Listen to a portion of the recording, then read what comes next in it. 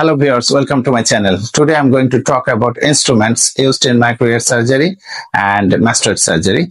There will be a short overview about the instruments that are lined up here. So first, this one is the self-retaining mastoid retractor and it is Plester self-retaining mastoid retractor. It has three prongs on both sides. So this is three into three prongs and you can see the middle prong is enlarged than the other two prongs. This is because so that it can retract the external auditory canal skin.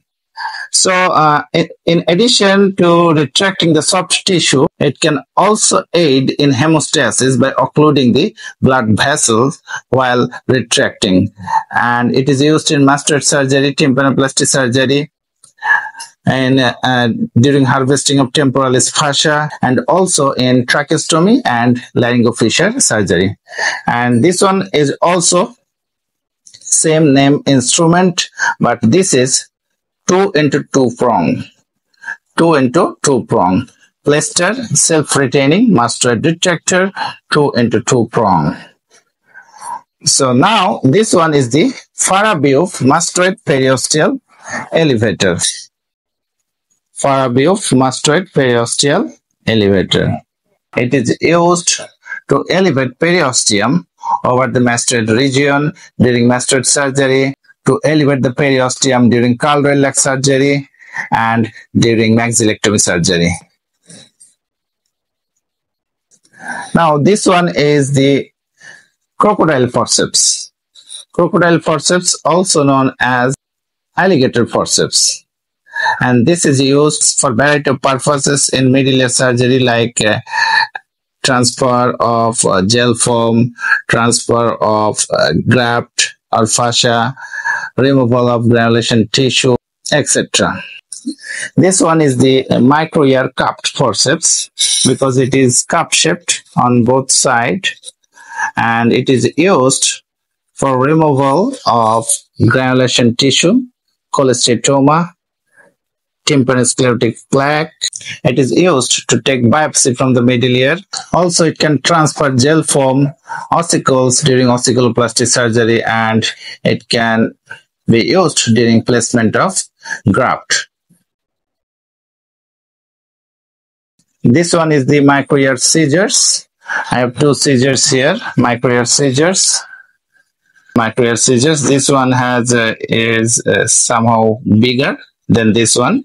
This one is smaller. Both are micro ear scissors. The micro ear scissors are used to cut chorda tympani, to cut stapedial tendon, and for freshening of the margin to remove the skin tag during tympanomeatal flap elevation or tympanomeatal flap incision. It is also used to excise the middle ear adhesions. This one is House-Dieter malleus head nipper.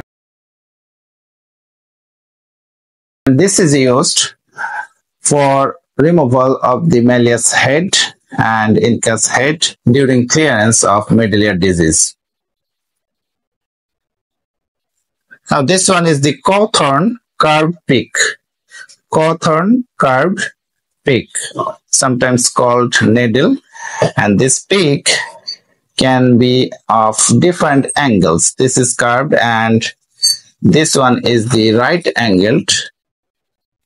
If you can appreciate it if you look at the tip very closely, there is a right angled pick here.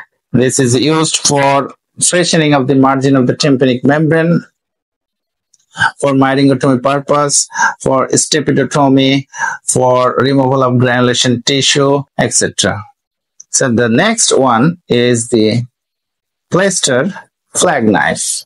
So these two are Plester flag knife because these are flag shaped and these are used to incise the external canal skin for tympanomeatal flap elevation and it can also be used for margin freshening purpose.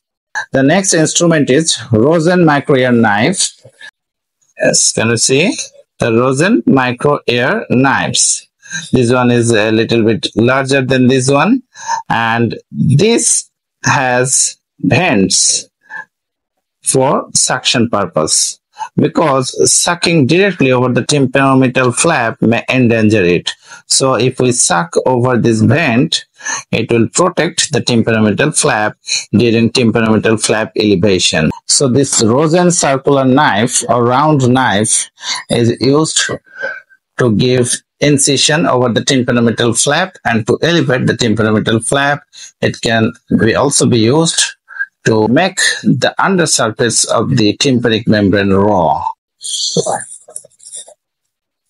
The next instrument is Macewen cell seeker and curette. This instrument has two ends. This end, the blunt end, is used to find the aditus ad antrum and air cells. That's why it is known as cell seeker. And this curette end is used to curette any bony overhang. This one is the micro ear ball probe. You can see the tip is ball shaped. The tip is ball shaped. That's why it is known as micro ear ball probe. It is used to palpate the middle ear structures and it can also be used for cell purpose. It is also used for placement of grafts. This one is the micro ear sickle knife.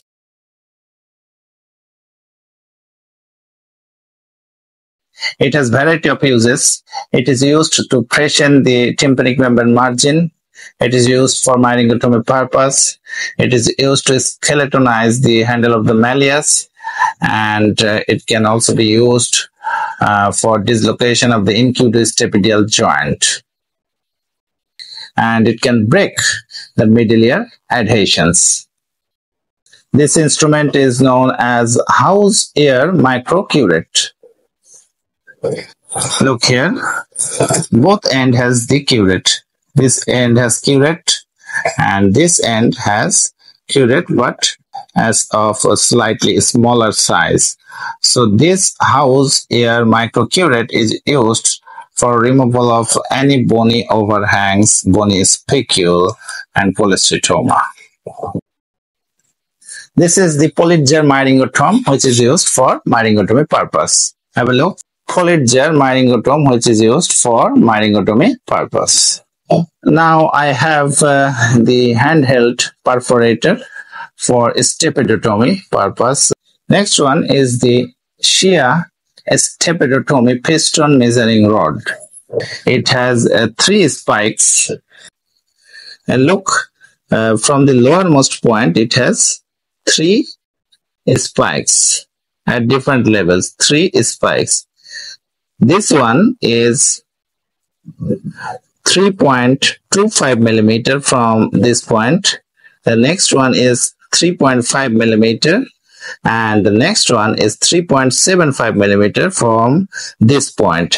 This is used to measure the piston which is required for stapedotomy purpose and it measures the distance between the undersurface of the footplate of stapes to the midpoint of the incus.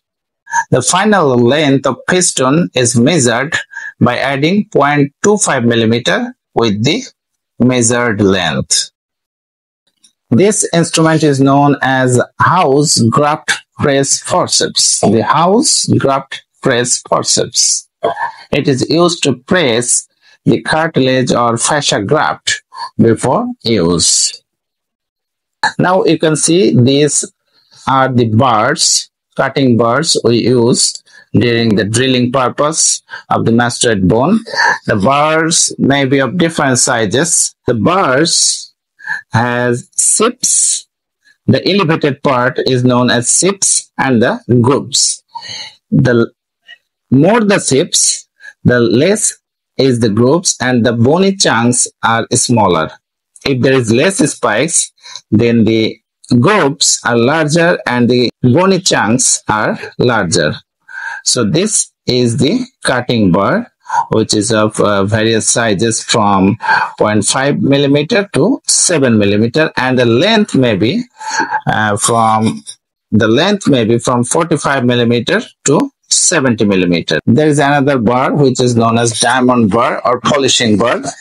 Uh, in that case, there is no sips, but some roughness is over there and it helps us to work around the vital structures like facial nerve or sigmoid sinus. And the diamond bar or polishing bar uh, also helps in hemostasis by clogging the area with bone dust. This is an interesting instrument. This is combined suction and irrigation cannula. Combined suction and irrigation cannula. This one is for the suction and this one is the for irrigation purpose. And it is useful during temporal bone dissection and it eliminates the need of an assistant to pour the water or normal saline over the temporal bone during drilling. Now this one is aural speculum. Look, I have different size aural speculums, different sizes, and this type of aural speculum is called Tumarkin aural speculum. It has split at its one end. This splitting is for helping us to give the canal wall injections. And the speculums are useful for inspection of the tympanic membrane, inspection of the external auditory canal, uh, for removal of uh, any foreign body or wax, and for myringotomy purpose. And I have mentioned that this split helps us to give the canal wall injections. So this is Tumarkin aural speculum. Now these are you can see of different sizes micro ear suction tip and these are called Verhoeven micro ear suction tip. These are of different sizes. They suck very little amount of secretions and blood, but it's very helpful to work around the vital structure. And this one is the adapter, and these two are the adapter for micro ear suction tips, which helps that suction tip to connect to the rubber tube. These are the micro ear suction tip and these are the adapters. So the last one inside this box, come closer. Inside the box, I have cartilage slicer. I have cartilage slicer and this is cartilage slicer so this is cartilage slicer. Cartilage is placed over here. Then it is locked like this. Like this. Then we can cut the cartilage with the help of this cartilage slicer with uh, oh, this, this is simple blade attached here. And if we want to control the thinness or thickness of the cartilage then we can place some we can place this one. These are of different thickness. We can place it and over it we can place graft then we can lock it and cut it with the help of this blade. So this helps us to control the thickness of our sliced cartilage. So this is in short, I tried to give an overview about the instruments that are used in micro surgery or uh, surgery. I hope it was useful for you. Thank you for watching. Goodbye.